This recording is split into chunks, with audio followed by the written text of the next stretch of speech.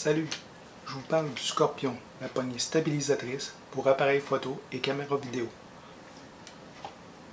Cette poignée stabilisatrice est faite d'un plastique très résistant. Il est aussi muni d'un styromousse pour une bonne prise en main, muni d'un support pour le micro bidirectionnel et une lumière LED. Il y a aussi un caoutchouc pour empêcher les vibrations de l'appareil photo. Il y a aussi deux vis pour installer soit l'appareil photo, soit la caméra vidéo. Il y a aussi des patins avec du caoutchouc.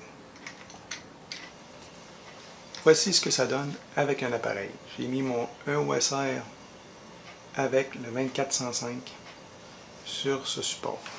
Voilà ce que ça donne. On sent que ça veut tirer vers le bas. Hmm, c'est inconfortable. Je ne pourrais pas le tenir pendant de longues heures. Le système de vis est un vrai problème. Des fois, la vis ne veut pas sortir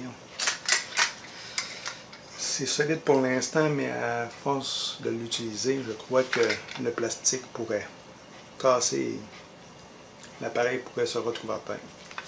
Euh, je ne prends pas de chance en ce moment, je le tiens avec la cour ma courroie, comme ça. Et, mais, est-ce que vraiment ça fonctionne, la stabilisation?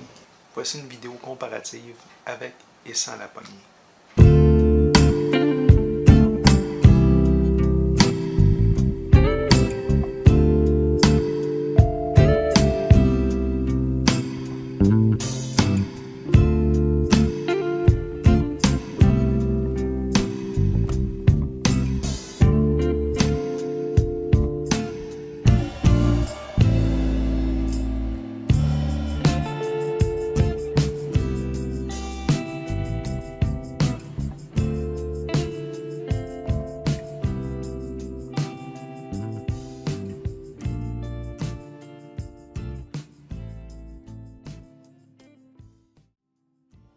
Comme vous avez pu le constater sur les vidéos, que ce soit avec la poignée ou sans, il y a très peu de différence au niveau de la stabilisation.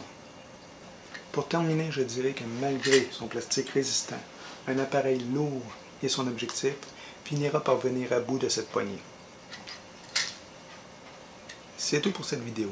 Si vous avez aimé, laissez-moi un pouce bleu et un commentaire, ça fait toujours plaisir. Je vous dis merci, au revoir et à la prochaine. Bye!